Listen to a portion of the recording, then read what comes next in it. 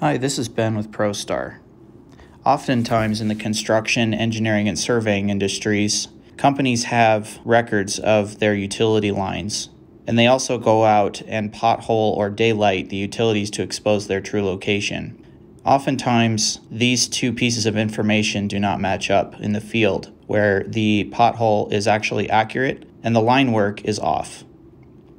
In this video, I will show you how, as a field user, you can connect your line work directly to the potholes, inherit the attribute information, and correct your records without ever having to go do the work in the office. So the first thing we want to do is turn on snap options in PointMan. To do this, I'm going to go to the top left corner and tap the menu button. From here, I'm going to tap on settings and scroll to the map section. As you can see, there's one checkbox turned on, which is show snap to point option on move. I'm going to leave that turned on. I'm going to hit close on the top right corner to return to the map. Once I'm on the map, I can select my line. And as you can see, the location of the line and the location of these potholes are very different. If I want to move my line work over to where the pothole actually says the utility is located, I can do so by tapping Move at the bottom toolbar. Now I can see where all my vertices on my line is. And by using the Select button at the bottom, highlighted in orange, I can select the line vertice that I want to use. So if you look, uh, the second line uh, section, the second white circle down from the top, I can tap on it to select it and now it's highlighted blue.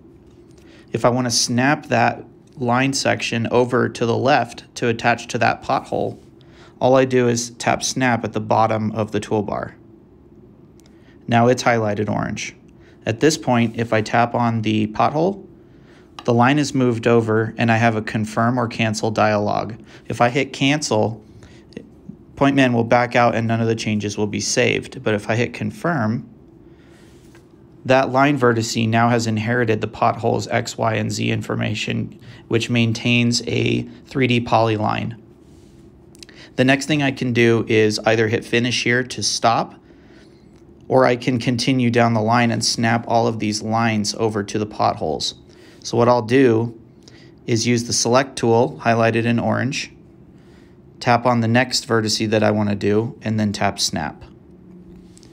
Once I tap on the pothole, this section of line is moved over as well, and I'm re represented with cancel and confirm. So I'm going to hit confirm, and then I'll do the last one by tapping select, selecting the line vertice, and then tapping snap, and selecting the pothole. Once I hit confirm, my workflow is complete by hitting the finish button. Now as you can see, the line is snapped over to those potholes and any of the attributes associated with those potholes is now associated to the line. This enables the user to perform this work in the field or in the office without a GPS unit once the potholes have been recorded.